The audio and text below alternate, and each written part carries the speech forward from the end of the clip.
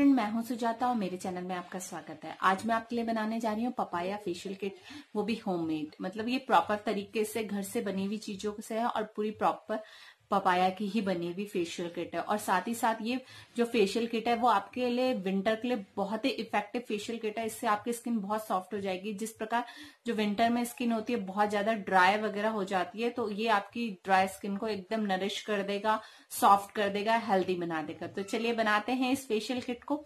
उससे पहले जिन्होंने मेरे चैनल को अभी तक सब्सक्राइब नहीं किया है तो प्लीज़ मेरे चैनल को सब्सक्राइब कर लीजिए। हाँ अगर आपको मेरी ये जो फेशियल किट की रेमेडी पसंद आएगी तो प्लीज़ उसे लाइक और कमेंट करना बिल्कुल मत भूलिएगा। तो चलिए बनाते हैं। अभी मैंने अपने फेस में कुछ भी अप्लाई नहीं करा है, क्योंकि मैं अभी बस मैंने फेस वॉश करा है। मेरे स्किन भी काफ़ी डल हो चुके हैं तो मैं इस फेशियल किट को पहले बनाते हैं, फिर इसको अप्लाई करना बताएँगे। तो चलिए बनाते हैं किट हम यहाँ पे पपाया फेशियल बना रहे तो कुछ चीज़ों की हमें ज़रूरत है।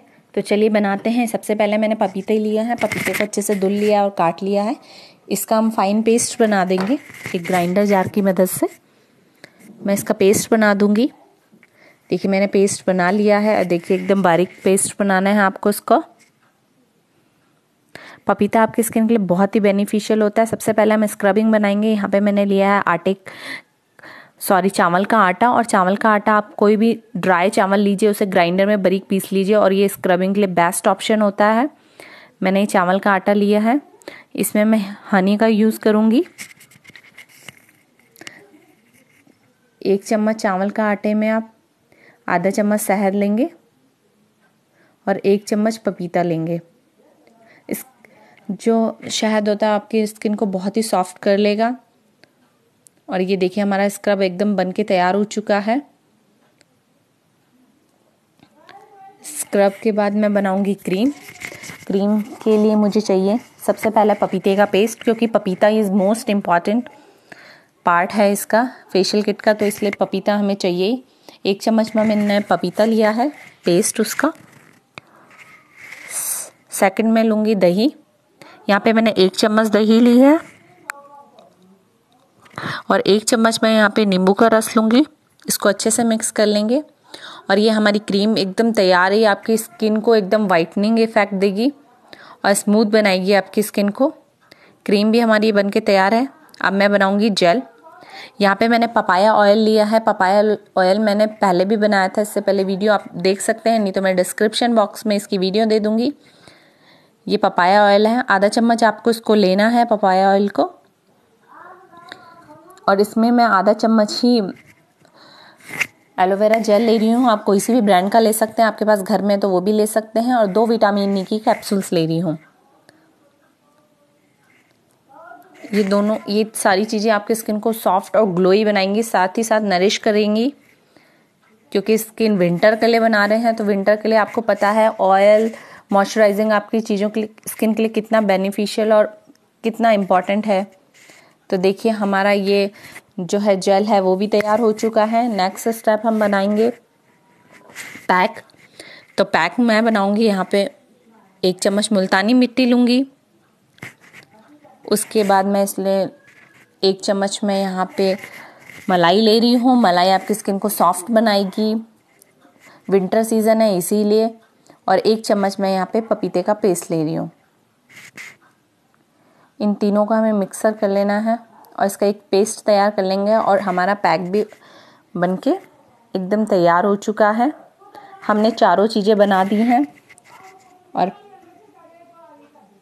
देखिए, आपने देखा कि मैंने फेशियल किट बना ली है पपाया की और अब मैं से आपको बताऊँगी कि इसको आपको अप्लाई कैसे करना है, क्योंकि इसके थोड़ा डिफरेंट ही स्टेप स्टेप तो सेम है बट थोड़ा ऐसे डिफरेंट तरीके से हमें अप्लाई करना है। तो चलिए लगाते हैं इस फेशियल किट को। उससे पहले आप अपना फेस अच्छे से क्लीन कर लीजिए, अपने बालों को टाई कर लीजिए। हाँ मैं थोड़ा ब्रॉड नेक का पहनना चाह रही थी बट मैंने ये हुड इसलिए पहना है क्योंकि यहाँ पे काफ़ी विंटर मतलब बहुत ही ठंडा हो चुका है और रूम में काफ़ी ज़्यादा ठंडा हो चुका है, इसलिए मुझे ये फुल पहनना पड़ा। नहीं तो आप जब भी फेशियल करें तो ब्रॉड नेक का ही टॉप वगैरह पहने, जिससे कि है कि आप अपने नेक को भी अच्छे से क्लीन कर सके और अपने नेक को भी साथ में शाइनी बना सके। तो चलिए करते हैं, मैं बताती हूँ कैसे अप्लाई करें। तो सबसे पहले अपने बालों को अच्छे से बाँध दीजिए। और मैंने बैंड से बाँध लिया, आप चाहे तो हेयर बैंड लेंगे। सबसे पहले स्क्रबिंग करनी है फेस पे। आप अच्छे से अपने फेस पे अप्लाई कर लीजिए।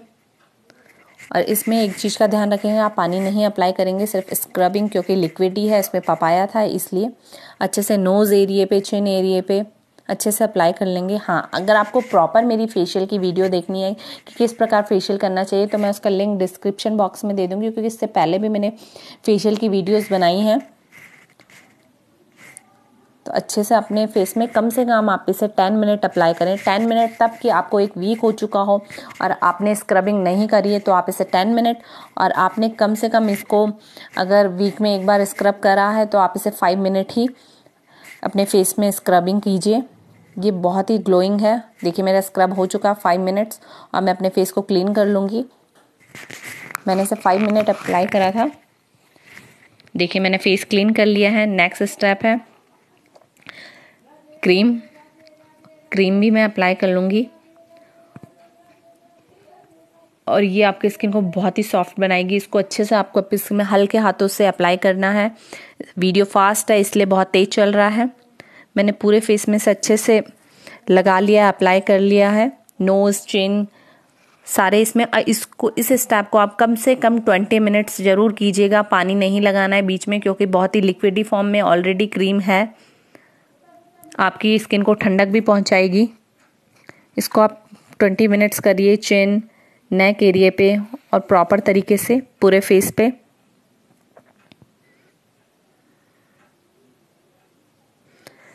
Papaya facial is best facial अगर फ्रूट्स में जो सबसे बेस्ट फेशियल होता है वो पपाया फेशियल होता है। देखिए मैं गले से, फिर अपने चिक्स से लिप्स के एरिए में। फेस पे, उसके बाद नोज़ पे, क्योंकि ये जो होता है, काफ़ी यहाँ पे वाइट हेड्स हो जाते हैं इसलिए, अपने आइज़ के कॉर्नर्स में। इसे अच्छे से अप्लाई के लिए, इसे आपको ट्वेंटी मिनट्स लगाना है अपने फेस पे। और जब से ही आपको लगे कि क्रीम ख़त्म हो रही है, फिर आप और लेके उसको फिर अप्लाई कीजिए। देखिए ट्वेंटी मिनट्स हो चुके हैं, मैंने फेस पे लगा लिया है प्रॉपर तरीके से, इसको मैं फेस वॉश कर लूँगी। फेस वॉश करने के बाद देख सकते हैं आप मेरे फेस में कितना इफ़ेक्ट आ रहा है। और मैंने इसे टावल से क्लीन कर लिया है। इसके बाद मैं अप्लाई करूँगी, देखिए ग्लो आप देख सकते हैं फेस पे। क्रीम हो चुकी है। इसके बाद मैं लगा रही हूँ अपना जेल लास्ट है। ये जेल कम ऑयल है। तो इसे आपको अच्छे से अपने फेस पे लगाना है। ये मेरा पपाया ऑयल का मिक्सचर है, इसे देखिए मैं अपने फेस पे पूरी तरह से लगा लूँगी। और इसको आपको 15 मिनट अपने फेस में मसाज देनी है इस तेल से। रियली ये बहुत ही इफ़ेक्टिव और विंटर्स के लिए ये बहुत ज़्यादा इफ़ेक्टिव है पपाया ऑयल इसका लिंक मैंने आपको बोला है कि मैं डिस्क्रिप्शन बॉक्स में दे दूँगी, क्योंकि इसकी वीडियो मैंने पहले बनाई है। इसे आप अच्छे से अपने चेन एरिए पे, पहले फिर लिप्स के किनारे और चिक्स पे। अच्छे से अप्लाई करें। पानी आपको नहीं लगाना है, आपको पूरे जो ऑयल है उसी से मसाज करनी है फेस पे।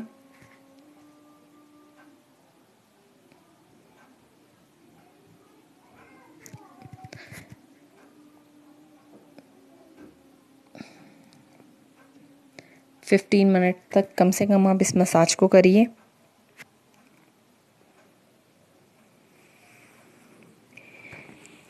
ये आपकी स्किन को बहुत ज़्यादा नरिश करेगा। आपको पता है, पपाए में विटामिन ई e होता है। आपके जो स्किन के जो डेड सेल्स हैं, उसको दूर करता है। आपकी झुर्रियों को दूर करता है। आपकी स्किन को ग्लोई बनाता है, सॉफ्ट बनाता है, जो पपाया होता है। साथ ही साथ मैंने जो ये जेल बनाया है, इसमें एलोवेरा भी है, विटामिन ई e है, जो आपकी स्किन को सॉफ्ट बनाएगी। इसको अच्छे से अप्लाई करें। देखिए, मेरा पूरा हो चुका है फिफ्टीन मिनट से मैं फेस वॉश कर लूँगी। फेस वॉश मैंने कर लिया है। देखिए स्किन बहुत ही सॉफ्ट और नरिश हो चुकी है मेरी। अब इसके बाद मैं फेस पैक अप्लाई करूँगी। फेस पैक मुझे अप्लाई कर देखिए, मैंने पूरे फेस में फेस पैक लगा लीजिए और फेस पैक को आप मिनिमम जब तक वो अच्छे से ड्राई ना हो जाए, तब तक वॉश मत कीजिएगा। इसमें मुल्तानी मिट्टी आपकी स्किन को फेयर करेगी और आपकी झुरियों को दूर करेगी। मलाई है आपकी स्किन को सॉफ्ट बनाएगी और पपाया के गुड़ तो आपको पता ही है। मैंने कई बार आपको पपाया के गुड़ बताए। इससे पहले जब मैंने पपाया का ऑयल बनाया तब भी मैंने पपाया के बारे में बताया है। इसको पूरी तरह से अप्लाई कीजिएगा। देखिए मैंने अप्लाई कर लिया है। मामा आपसे बात कर और ये देखिए ड्राई हो चुका है। मैं अपना फेस वॉश कर लूँगी। मैंने फेस देखिए मैंने किया है। और मुझे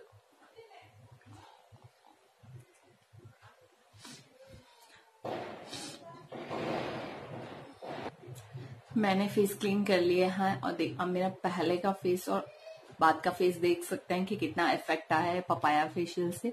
और फेस बहुत ही ज़्यादा सॉफ्ट और शाइनी हो चुका है। मैं अपना बैंड भी क्लीन करके इसको अभी आपको बताती हूँ। मैंने बैंड में निकाल लिया। आप देख सकते हैं फेशियल का खुद इफ़ेक्ट ही कितना ज़्यादा इफ़ेक्ट आया। स्किन भी बहुत ज़्यादा सॉफ्ट हो गई है और नरिस हो चुकी है, क्योंकि विंटर सीज़न में स्किन बहुत ही खिंचावदार ड्राई हो जाती है।